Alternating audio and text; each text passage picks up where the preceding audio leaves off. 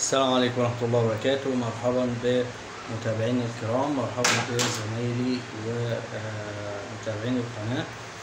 مرحبا بأصدقائي دكاترة التحاليل وأخصائيين التحاليل. هنتكلم النهاردة عن test من أهم test ات ال liver function وال clinical chemistry عامة آه، بداية عشان الناس اللي ممكن تتابع الفيديو أول مرة معايا آه، أنا كل قناة مقسمة ل playlists قوائم تشغيل. آه، في تخصصات كتيرة في القناة آه، اللي بيتابع تحاليل طبية clinical chemistry هيدخل على قائمة التشغيل هيلقى قائمة تشغيل clinical chemistry هيلقى الفيديوهات بالترتيب حسب تاريخ رفعها على آه، اليوتيوب. آه، والنهاردة هنتكلم عن ال SGOT أو serum GOT أو serum glutamic oxaloacetic transaminase serum glutamic oxaloacetic transaminase GOT من أهم تحاليل ال liver function اللي دايما الدكتور بيطلبها. تمام؟ اتكلمنا في فيديو سابق عن ال GPT والنهاردة هنتكلم عن ال GOT. آه نبدأ مع بعض ونقرب الكاميرا تمام؟ ونشوف آه بيقول لنا إيه على ال GOT. بسم الله الرحمن الرحيم. أيوه تمام كده. ال GOT أو ال AST ممكن تلاقي الطبيب كاتبها كده. اي اس تي أو اسكوت جي أو تي اختصارا ل serum glutamic oxaloacetic transaminase يعني إيه transaminase يعني الإنزيم ده أو الإنزيم ده اللي هو ال GOT هو اللي بينقل آه، آه، مجموعة الأمينو من compound compound تمام؟ طيب تعال نشوف هو بي- بنشتغله إزاي؟ تشتغلوا serum test يعني إيه serum test يعني بتعمل centrifuging لعينة ال blood تمام؟ وبتدورها يعني وبتفصل السيرم عن باقي مكونات الدم وبتاخد السيرم تشتغل عليه تمام؟ هو بيعتبر من ال liver function بيعتبر من ال liver function آه بنعمله ليه؟ أو الطبيب بيطلبه ليه؟ بيطلبه to detect آه recent myocardial infarction.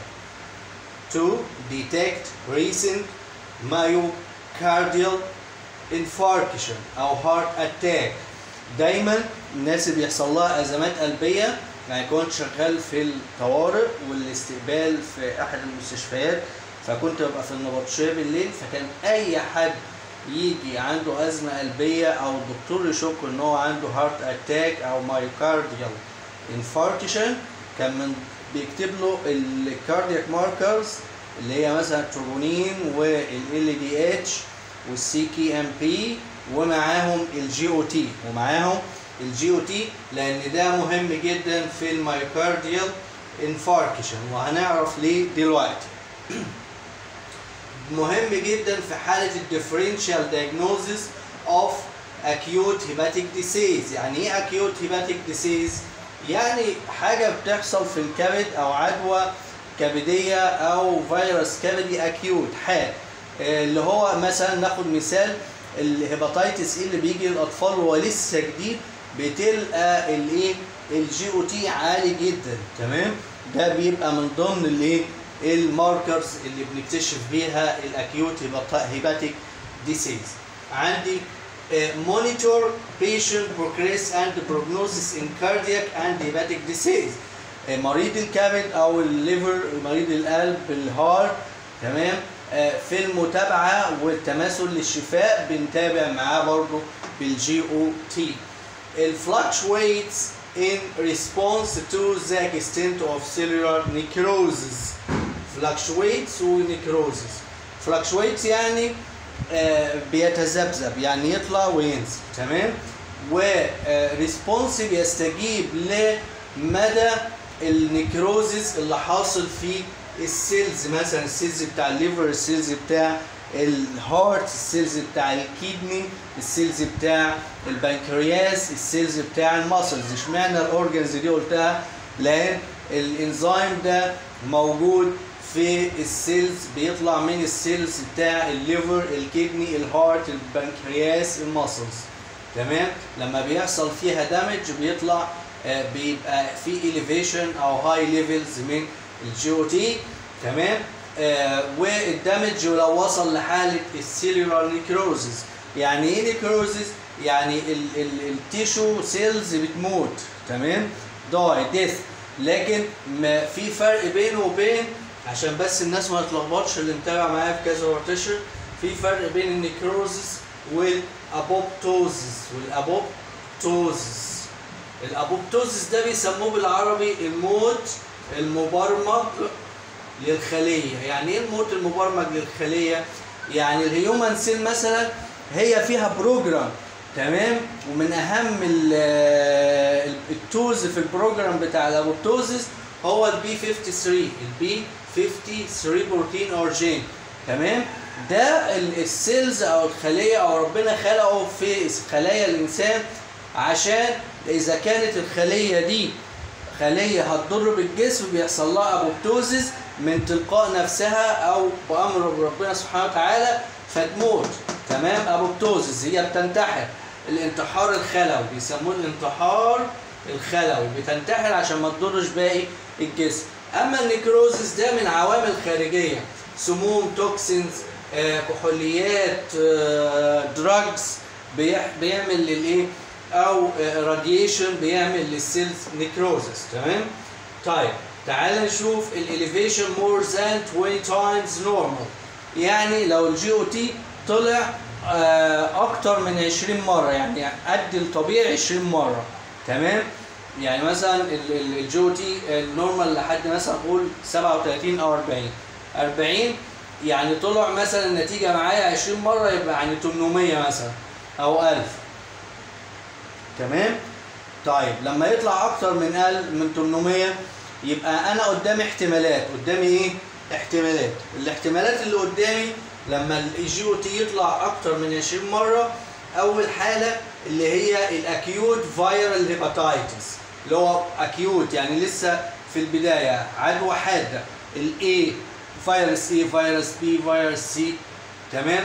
أو آه، ده بالنسبة للكبد. أو أي أي viral تاني بيعمل damage في ال tissues عندي تاني حالة ال severe skeletal muscle trauma severe skeletal muscle trauma هتقول لي skeletal muscle واللي جاب skeletal muscle ده من وظائف الكبد. لا إحنا قلنا مش ده مش كبد بس تمام؟ إحنا قلنا إن ال GOT موجود في ال liver ال kidney ال heart البنكرياس ال muscles وبيطلع في حالة ال tissue damage أو ال necrosis تمام؟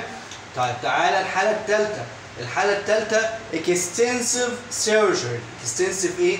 surgery طبعا surgery خلاص أنت كده فهمت. لما أنا لسه قايل لك إنه إيه؟ موجود في بعض ال organs liver heart kidney pancreas muscles تمام؟ وال surgery أكيد بتعدي من على muscles وبتعمل damage في طريقها لل tissues تمام؟ ده بالإضافة لل condition أو ال case اللي معمول عشانها ال surgery تعالى بعد كده ال drug induced hepatic injury تمام؟ يعني إيه؟ إصابة كبديه ناتجة عن تعاطي بعض الأدوية. يعني ممكن واحد بيتعالج من ال brucellosis أو ال salmonellosis تمام؟ آه بياخد الأدوية تمام؟ آه أو بعض ال antibiotics اللي خدناها في آه في ال- البتاع ده ال- ال microbiology تمام؟ اللي بتعمل damage في ال hepatic cells ممكن يحصل إن ال GOT يعلى وبنسمي الحالة دي drug induced hepatic injury تمام؟ تعالى الحالة ال- الخامسه تمام؟ اللي هي آه، حالة ال severe liver congestion ال severe liver congestion دي بيسموها بالعربي احتقان الكبد. يعني إيه احتقان الكبد؟ تمام؟ يعني الكبد بيحصل فيه حالة كده ما قبل ال cirrhosis تمام؟ severe liver congestion تمام؟ آه عندي بعد كده ال high elevations من 10 ل 20 مرة. إحنا اتكلمنا عن 20 مرة أكتر من 20 تعالى بقى من 10 ل 20 يعني إيه مثلا؟ 400 لحد 800 تمام؟ ده بيدل على إيه؟ severe myocardial infarction إحنا في في من 20 من 20 مرة لاكتر قلنا إن هو أغلبه acute أما في ال severe myocardial infarction ده severe خلاص ده بقى إيه chronic تمام؟ أو severe تمام؟ heart attack تمام؟ تعالى severe infection mononucleosis تمام؟ خلي بالك أهو severe severe عندي شديدة شديدة. ماشي؟ طيب تعالى ال alcoholic cirrhosis. تليف الكبد الكحولي مثلا. تمام؟ طيب عندي بعد كده high من 5 ل 10 مرات من 5 ل 10 مرات. ممكن ده يبقى إيه؟ chronic hepatitis مزمن أو other conditions تمام؟ طيب بعد كده من من 2 ل 5 مرات ضعف الطبيعي ده ناخد بعض الحالات زي ننزل بالكاميرا كده شوية وبعدين نعلى بال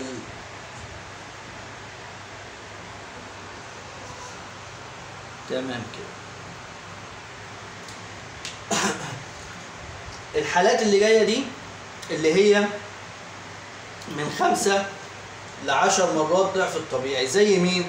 زي ال chronic hepatitis and other conditions طيب من 2 ل 5 أعلى من الطبيعي من 2 ل 5 مرات اعلى من الطبيعي هناخد حالة ال metastatic hepatic tumors يعني إيه metastatic؟ يعني ال tumors دي الأورام دي ناتجة عن الكبد وبتنتشر في أماكن أخرى تمام؟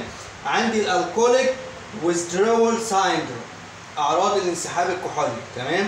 عندي fatty liver الكب... الكبد الدهني يعني في دهون كتير على الكبد تعلي ال GOT من 2 ل 5 أضعاف المعدل الطبيعي.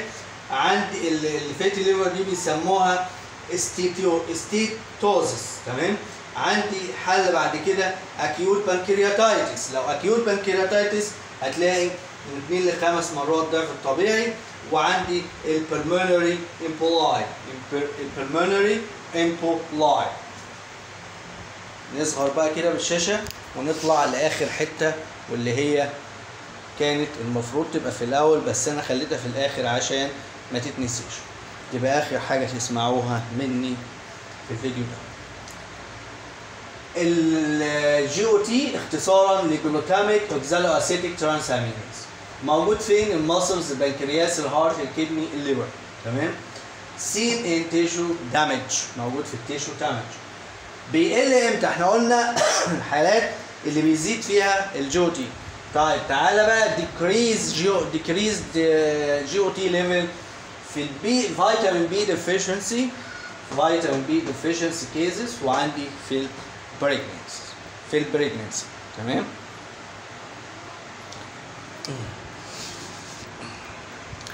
واتمنى للجميع التوفيق ولا تنسوا تدعمونا بنشر القناة لو عجبكم الشرح وتدعمونا بآرائكم في التعليقات وال like وال share وال subscribe السلام عليكم ورحمة الله وبركاته.